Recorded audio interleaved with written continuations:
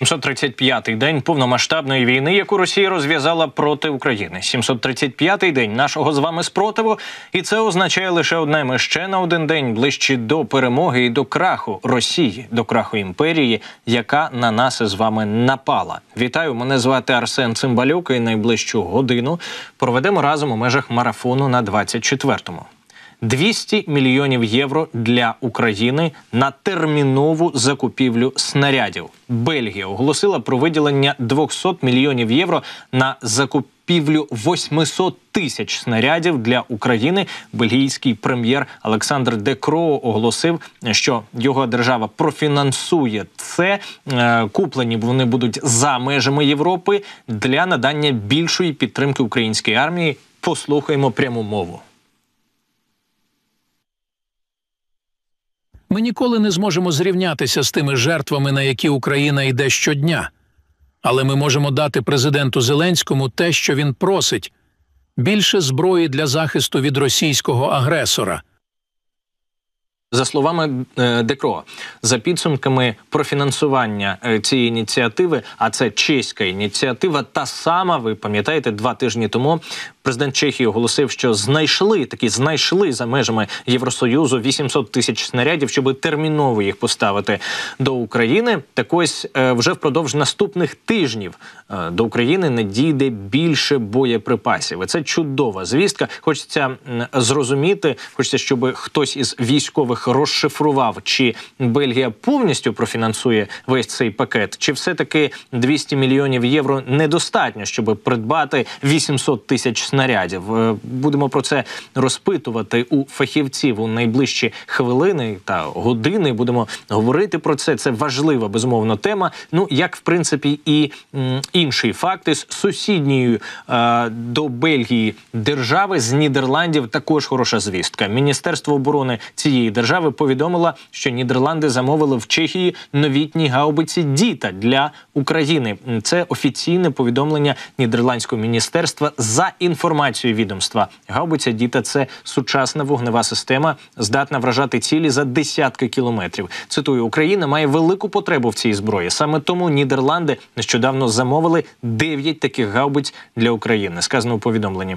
Е, зброя йде е, зброя є Частиною великого голландського замовлення, нідерландського замовлення для України е, поставлять її два виробники зброї в Чехії. Командувач ЗС Нідерландів, генерал е, Айхельсхайм, відвідав завод із виробництва цього озброєння у Чехії. Ну і Власне, після цього було оголошено про відповідне рішення. Раніше Нідерланди замовили в Чехії аж 100 зенітних установок МР-2 разом із США модернізацію 100 бойових танків Т-72, як ви розумієте, не для захисту від Данії, Бельгії, Люксембургу чи якихось інших е, держав, а для захисту від Росії, для захисту саме в Україні. Вони купують зброю для нас, щоб ми захищали їх. Як добре, що на заході Європи починають розуміти логіку процесу, щоб ми захищали їх їх і себе, звісно. Ну і власне те, що мало хто помітив.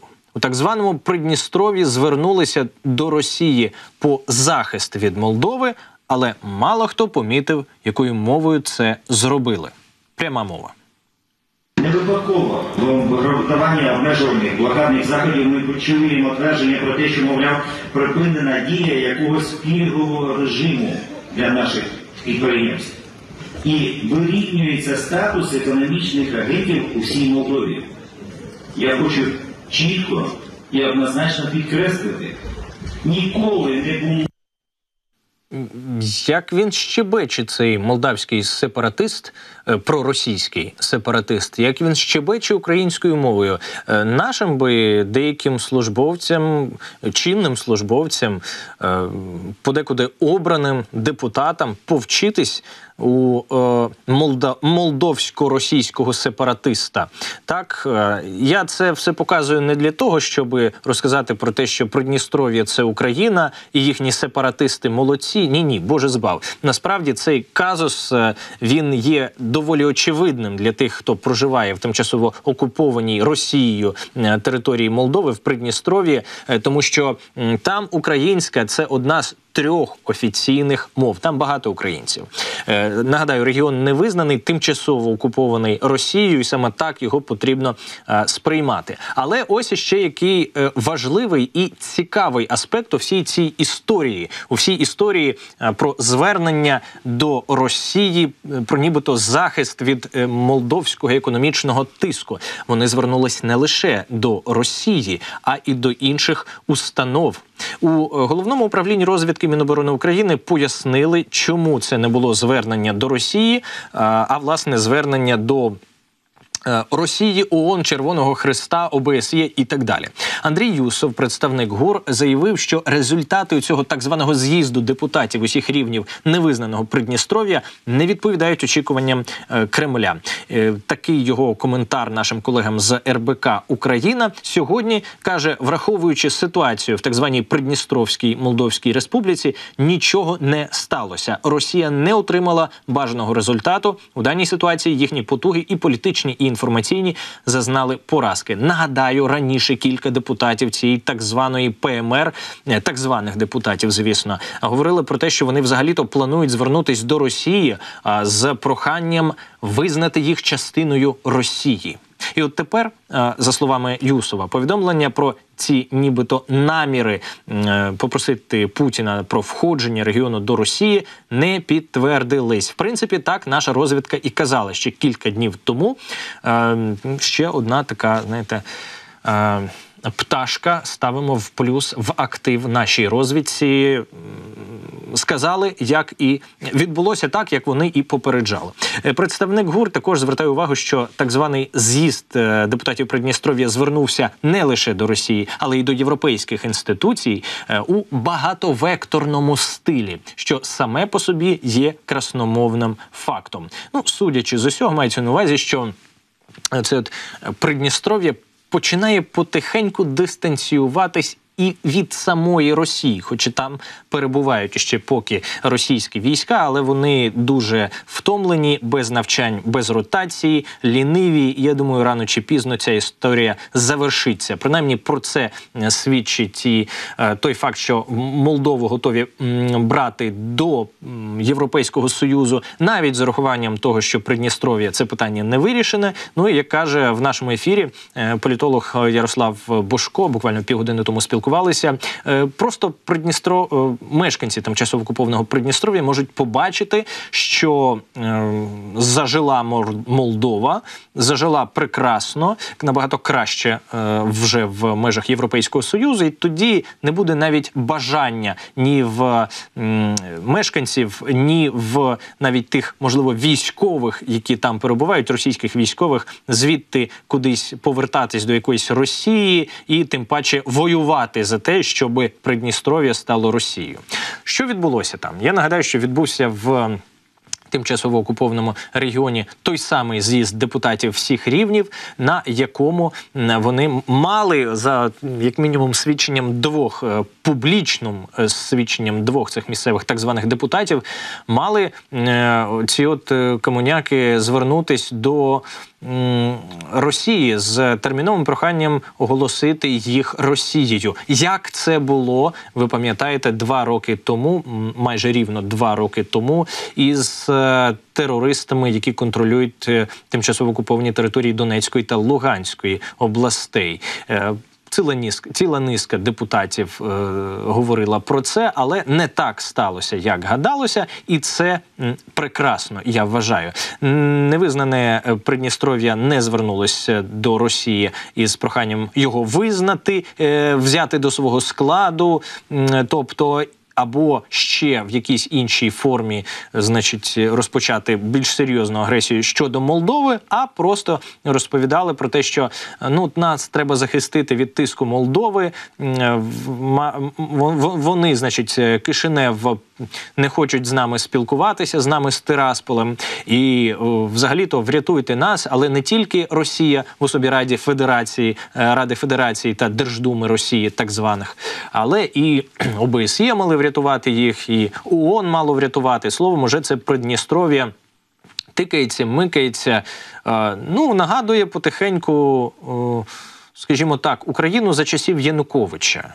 Хоча там ну в Україні за часів Януковича настрої в цілому е, у людей були проєвропейські, але от ця от державна політика, многовекторність і за Кучми, і за Януковича, воно ж це все було. Хоча, ну звісно, що Янукович тяжів більше до Росії, але тим не менше, тим не менше, ми знаємо, чим все це закінчилось. Я впевнений, що і для Придністров'я, і для Молдови це все закінчиться правильно, тобто по європейськи. Тепер, власне, повертаємось до тих звісток щодо артилерії, до того, чого найбільше не вистачає нам у цій війні, і особливо не вистачає саме в ці тижні. Військовий експерт, генерал-лейтенант, засновник благодійного фонду за Криму Небо України Ігор Романенко долучається до прямого ефіру на 24-му. Пане Ігорю, доброго вечора. Дякую, що знайшли час долучитися, і слава Україні.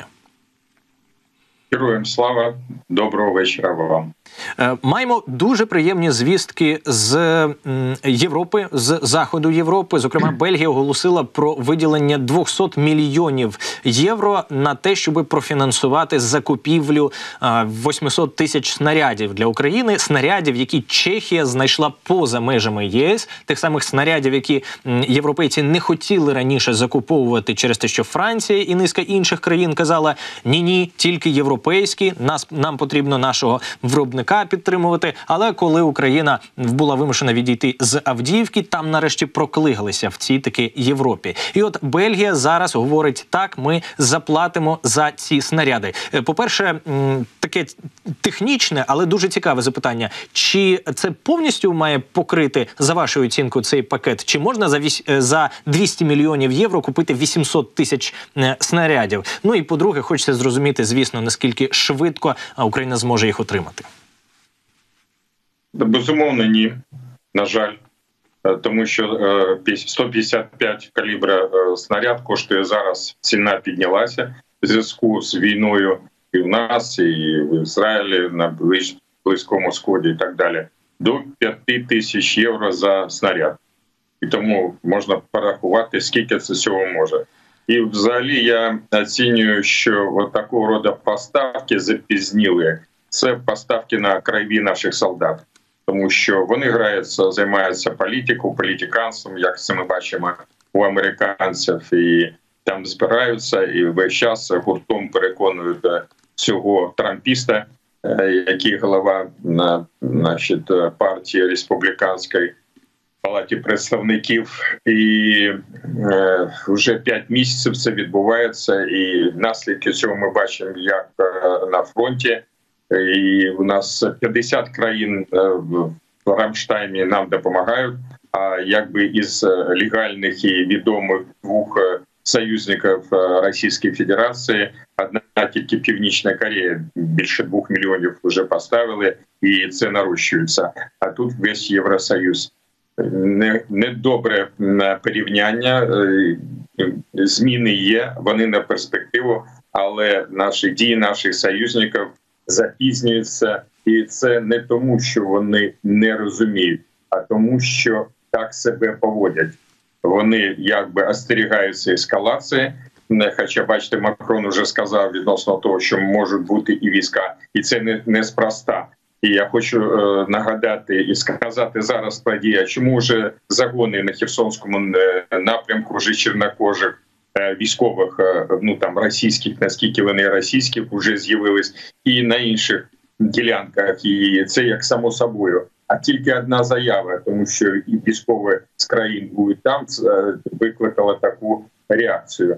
А чому е, ті ж американці в Другу світову війну допомагали китайцям? Нікому не будь китайцям. Війна була і в Китаї теж і тільки літаками давали, продавали, а також е, надавали своїх льотчиків е, добровольців, щоб вони виконували завдання. А у нас е, е, протягом минулого року е, деякі виступи були з боку американських льотчиків, що вони готові, і що далі. А далі вони були якби е, закриті інформаційно затиснути, і американці навіть по використанню самих е, F-16 самі не постачають. У них там в пустелях сотнями вони знаходяться європейці, які зібралися і не дають і європейцям, не дають, щоб вони у нас з'являлися. Ви ж подивіться, яка інформаційна іде подача вже цілий рік навколо цих F-16. А по суті, вони могли б бути ще в минулому році. Ви подивіться, яка історія навколо Абрамсів.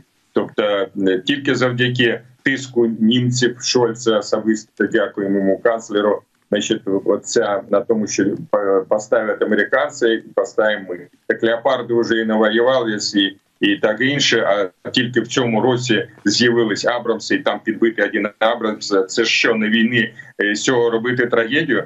Що у них не розуміють генерали про те, яким чином розуміють і інформують але але ж політики вважають, що Атлантика океан їх забезпечить і невтручання, і захист, і таке інше. Так вважала їх керівництво в Другої світової після до тих пір, поки не відбувся Перл-Харбор. Так вони і зараз чекають на новий Перл-Харбор. Не вистачає рішучості і не вистачає розуму в оцінки стратегічної. Вони ж претендують на глобальне керівництва в світі. А за це треба відповідати. Де їх відповідальність? От на тому, що п'ятий місяць відсутня допомога.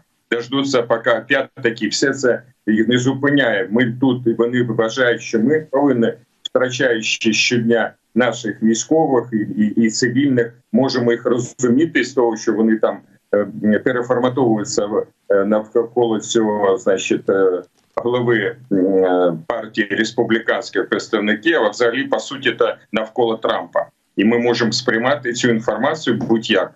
Тобто, під час війни питання демократії, управління демократичне, програшне, це говорить управління досвід і теорія і практика управління в світі. Вона повинна бути централізована, рішуче для того, щоб перемагати. Вони цього поки е, розуміючи, не реалізують свої зовнішні політики, особливо допомозі нашій країні. На жаль, а, знаєте, розділяю е, пане Ігорю, ваш крик душі на 100%. Буквально нещодавно повернувся із часового яру, де ми знімали е, сюжет, і ну ми його покажемо теж найближчим часом, щоб наші глядачі і глядачки розуміли, що відбувається через те, що вони там не зволікають. До речі, дякую вам, що розшифрували оцей момент з кількістю е, і вартістю снарядів. Тепер починаю критичніше ставитися до таких заяв і закликаю до цього глядачів. Значить, е, порахував буквально щойно, що для того, аби за таку вартість за 5 тисяч євро за снаряд придбати 800 тисяч снарядів,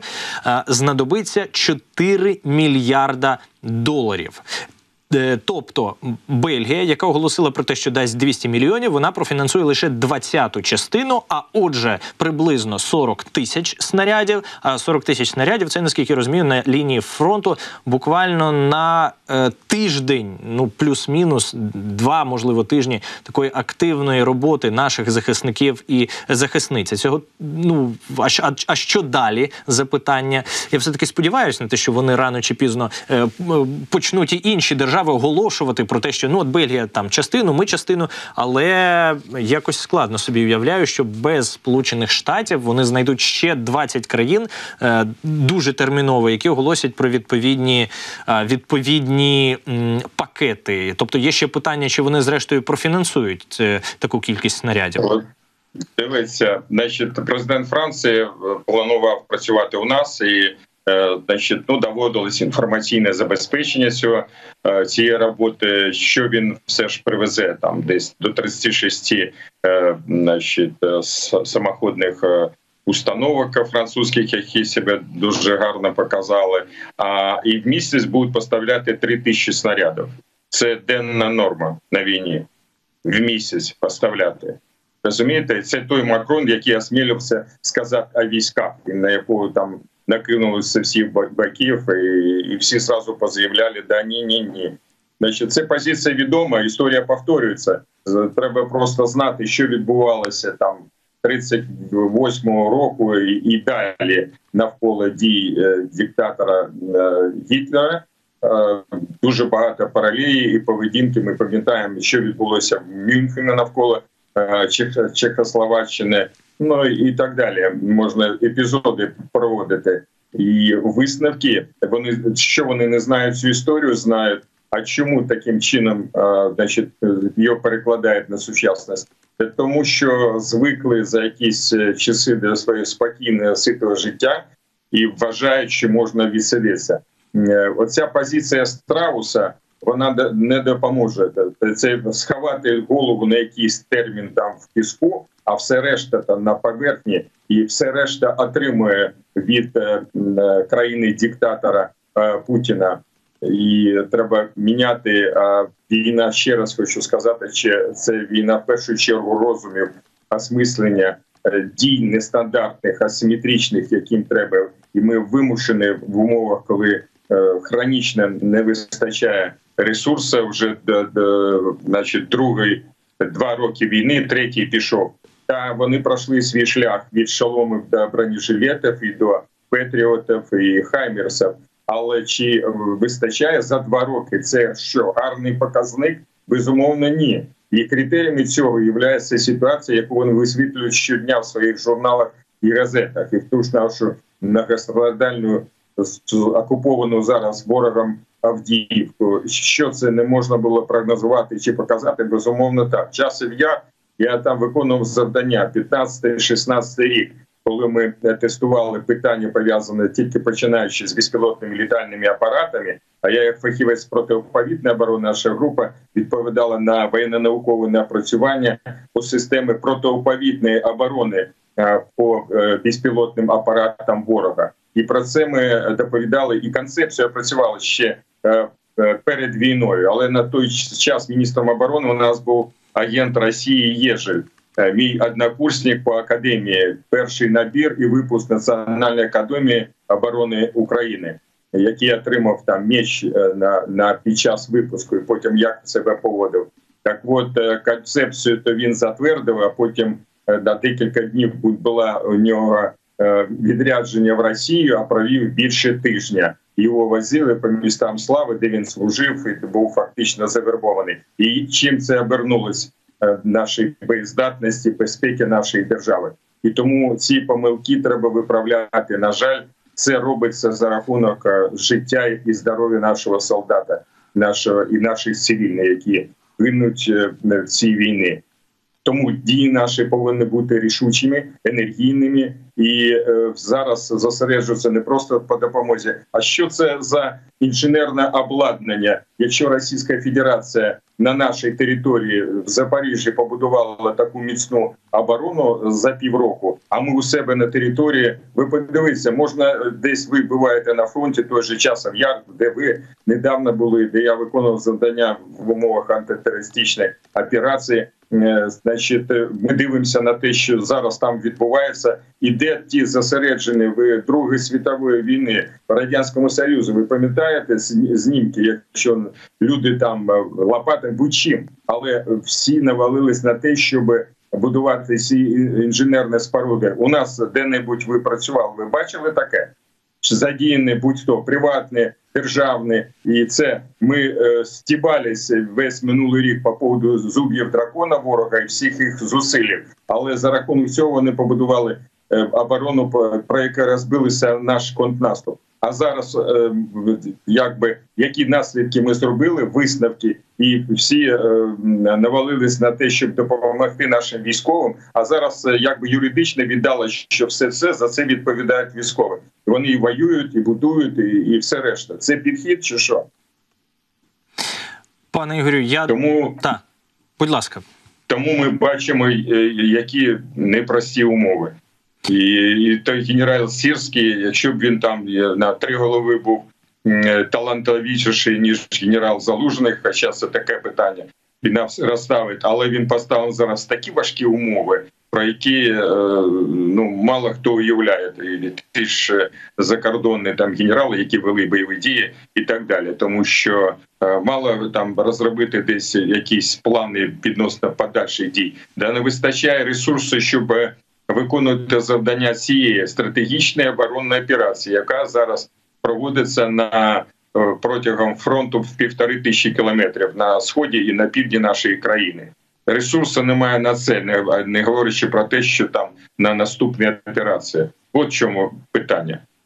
Ну, ось тому і закликаю кожного ефіру наш батальйон Вашингтон, батальйон Брюссель, батальйон Варшава і всі інші е, батальйони. Берлін дуже важливий наш батальйон. Мільйон е, 125 тисяч українців та українок зараз проживають у Німеччині, яка ніяк не наважиться передавати нам е, Тауруси, і звітує про кожну кожну одиницю інженерного обладнання, яку раз на кілька місяців передає. Три-чотири. От про таке теж пишуть у своїх звітах.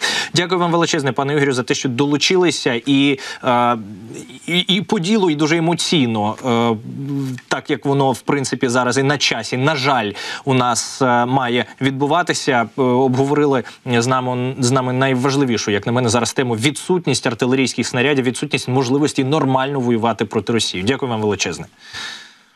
Дякую вам. Ігор Романенко, військовий експерт, генерал-лейтенант і засновник благодійного фонду за Криму Небо України, був у прямому ефірі на 24-му. Друзі, я знову ж таки. Всі, хто зараз перебуває за кордоном, від вас залежить чи не більше, ніж від тих людей, які зараз є в Україні. Якщо 20 тисяч людей вийде цієї суботи у Вашингтоні на мітинг, по-іншому США сприйматимуть цю війну, по-іншому вони сприйматимуть цю політичну туди-сюди, те, що вони роблять там, у своїй палаті представників, по-іншому будуть сприймати е, Трампа, його заяви. Вас мають бачити, вас мають чути. Має бути зрозуміло, що вам не все одно. Комусь в США не все одно. Бо зараз таке враження, що от воно якось все відбувається. Тут людей вбивають сотнями авіабомбами та артилерією розстрілюють, беруть село за селом. А там, ну якби ну нет времени, робота, ще щось. Яка робота? Не буде ніяких сполучених штатів, якщо не буде України. В класичному розумінні так точно. Гегемону багатих сполучених штатів не буде. Скасовуються Сполучені Штати, якщо не буде України. Якщо не буде України, скасовується Європа повністю фізично. Фізично, розумієте? Про Європу ще трохи, як і говорили, Польща може тимчасово закрити кордон з Україною для торгівлі. В загальній отакій фразі про це заявив прем'єр-міністр Польщі Дональд Туск, чи йдеться безпосередньо е, про зерно, чи йдеться про е, всю сільгоспродукцію, чи йдеться взагалі про всю торгівлю, чи йдеться про перевезення, чи йдеться про блокування військових вантажів. Зараз намагатимемося з'ясовувати з заступником голови Всеукраїнської аграрної ради Денисом Марчуком. Він уже на зв'язку. Пане Денисе, що вам можливо відомо е, з інсайдів про переговори, які зараз ведуться між Україною та Польщею, які принаймні от консультації, про які говорить пан е, Туск, чи йдеться про всю продукцію, чи йдеться про агропродукцію, чи є якісь рамки і кордони, в які поставлені, я сподіваюся, поляки. Вітаю вас. А, ну напевно, що треба заспокоїти людей і нас з вами, тому що дійсно ситуація, яка була об'явлена, і коментарям прем'єр-міністра Польщі, а вона трошки не відповідає тим реаліям, в яких відбуваються перемовини, тому що сьогодні, за інформацією від торгового представника України Тараса Качки, про те, що відбулися конструктивні е, розмови з представниками уряду Польщі. Нелегка розмова, але тим не менше така, яка дає надію на те, що можна буде в найближчий час говорити про якесь врегулювання ситуації. Яким буде це врегулювання, деталі не повідомляються. Але якщо стосується заяви, мені здається, що ця заява з сторони Туска вона була більше орієнтована на внутрішнього споживача, на поляка, на польський бізнес, в тому числі, який за показниками значно більше імпортує на територію України. Ніж те, що продає Україна безпосередньо Польщі, тому втрати в фінансовому плані були б надвеликі. А плюс давайте ще розуміти, що це зупиняється транзит і зупиняється можливість Україні реалізувати свою продукцію з іншими європейськими країнами. Тобто, яким чином тоді б могли відреагувати на дії поляків? Ну, наприклад, ті самі німці, які купують досить таки українську продукцію, в тому числі і зернову групу, і чи не спонукало б їх до таких ж дій зі сторони того, щоб заблокувати Польщу. Тому я думаю, що нам треба всім трішки дійсно заспокоїтися, інформацію вивчати однозначно, моделювати ситуацію. Звертатися з коментарями, щоб надавали наші посадовці, бо відсутність інформації вона породжує різні домисли. А цього б не хотілося в такій чутливій темі. Тому що ми вже 4 місяці фактично живемо в цій постійній боротьбі і блокуванні. Тому я сподіваюся, після сьогоднішньої зустрічі, все ж таки найближчий час ми отримаємо певну конструктивну позицію з обох сторін для того, щоб розв'язати дане питання.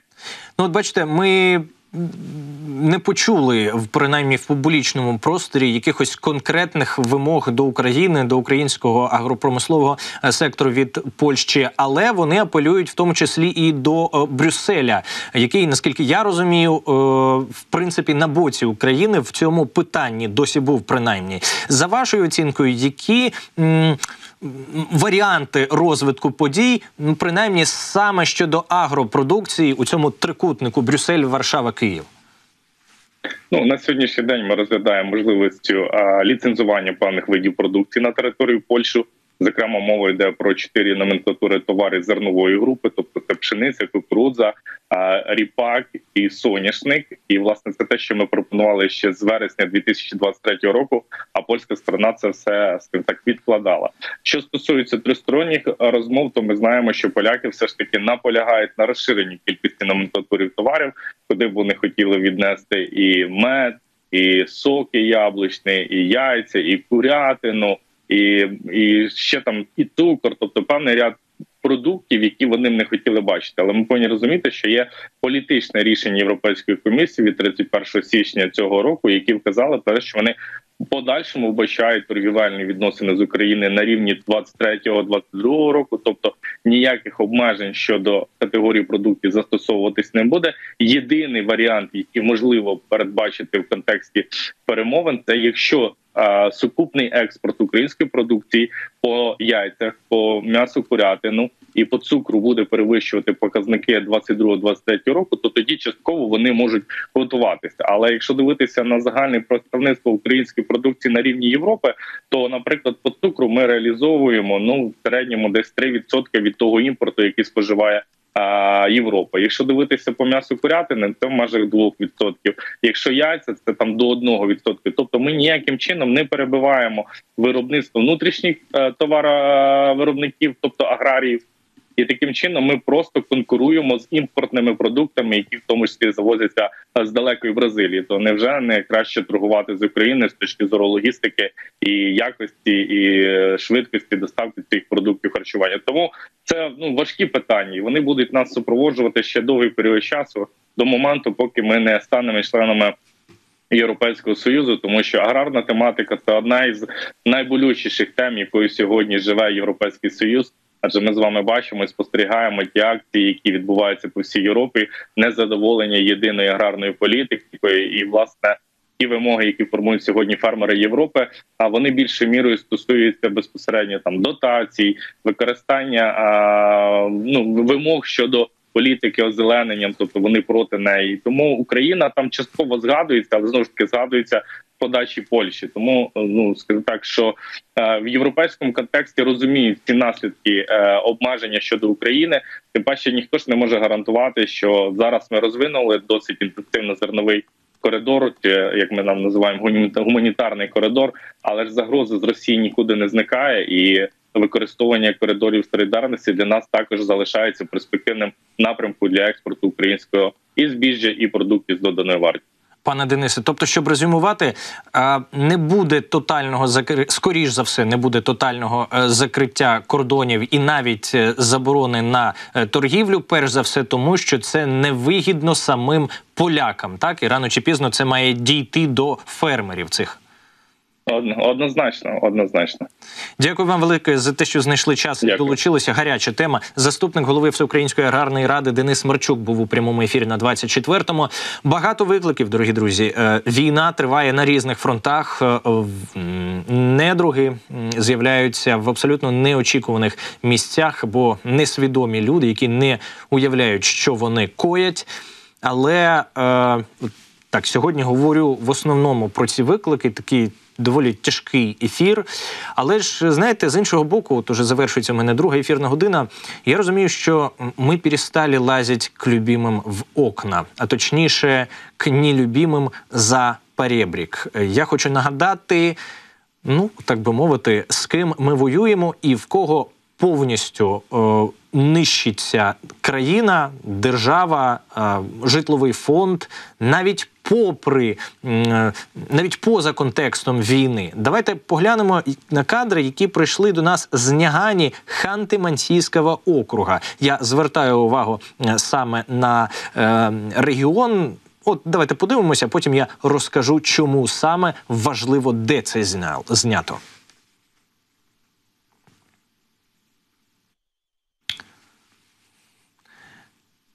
Так, колеги, покажіть нам, будь ласка, е, хату, яка обрушилася в е, Ханти-Мансійському окрузі. Це е, інше відео. Якщо є в нас воно, то не, немає такого відео. Добре, добре. Тоді е, давайте власне поговоримо про те, що можемо е, показати.